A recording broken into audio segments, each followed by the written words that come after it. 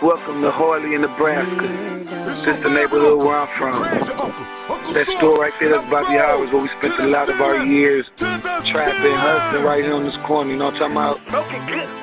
I done knocked a lot of people out and, you know, went to jail and shot at people and got shot at right, right here on these corners. Now, right here, that's the Harley building, aka the Carter. We the, the reason they shut the Harley building down. Like, damn, all those Maris, yeah, hell yeah, that's a whole nother story in my true religion team. I'm feeling stupid clean. I'm smiling at these bitches like niggas. That's my album going down,